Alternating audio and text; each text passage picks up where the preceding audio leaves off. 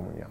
Și să fi învățat ceva din modul în care regele Mihai a trăit, nu s-a coborât niciodată să dea replica, de fiecare dată și-a fost umilit, n-a făcut niciodată asta. Regele Mihai ar fi fost un conducător care să ne unească. Noi, în schimb, am avut parte numai de politicieni care s-au bătut pentru propriile interese tot timpul în tabere. Și am încercat să vedem ce spun politicienii despre regele Mihai.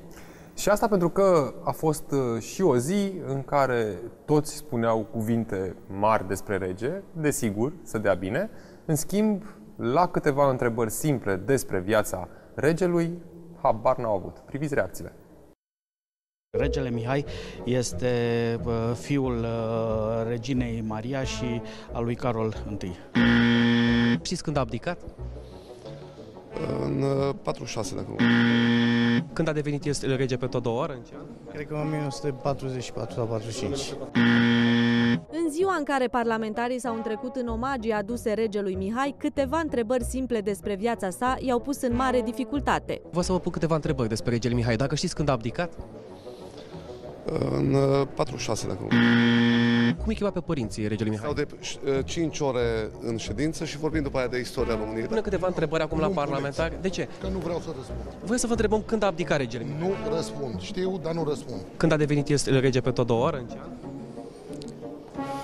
Când am plinit 18 ani. Când a primit? În ce an? Cred că în 1944 sau 45.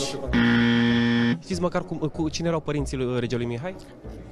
Dacă, dacă dumneavoastră, nu, nu, nu, dacă dumneavoastră începeți să treceți la, la bășcălie, ești prea tânăr și cred că ar trebui să-ți revizuiești atitudinea. Vizibil deranjat că nu știe să răspundă, deputatul Valentin Boboc are o altă abordare. De vină pentru lipsa de cultură generală ar fi reporterul. Ești prea tânăr și cred că ar trebui să-ți revizuiești atitudinea. Totuși, Nu, nu, nu. ca ascultă-mă, parlamentar se să nu știi. învață. Nu, nu că să nu știu. Nu sunt pe din afară, cunosc istoria, am învățat istorie. Tot deranjat a apărut și liderul UDMR, Kelemen Hunor. În ce an a abdicat regele Mihai? Că punem întrebări la deputat. Poftim? În ce an a abdicat regele Mihai? 47 și nu suntem la școală, da? În timp ce unii parlamentari au preferat reproșurile, alții au considerat că ne pot împărtăși cunoștințele lor. Știți în ce an a abdicat regele Mihai? pe 30 decembrie 1947. Știți din ce familie făcea parte? Hohenzoller. Știți cum îi chema pe părinții lui? Cine au fost părinții? E, e simplu, Carol al doilea și Elena a Greciei. Dacă știu răspunsul, spun ce au de spus și am văzut Adrian Solomon, deputatul PSD, pe lecție de istorie. E și profesor de istorie, a răspuns la toate întrebările pentru că a știut să răspundă. Ceilalți Din nou, o problemă de atitudine, lucru pe care de fiecare dată îl semnalăm în emisiunea asta, mai ales uh, când sunt aceste materiale în care încercăm să vedem de la parlamentari uh, cam care sunt uh, cunoștințele lor. Se supără nevoie mare și suntem uh, de fiecare dată certați. De data aceasta, colegul nostru, Narcis Popescu, a fost mustrat de uh, domnul uh, Boboc. deputat Boboc.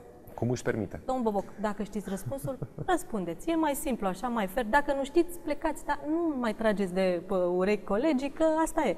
Noi vă întrebăm, dumneavoastră, dacă știți, răspundeți. Este simplu. La PSD lucrurile nu sunt nicio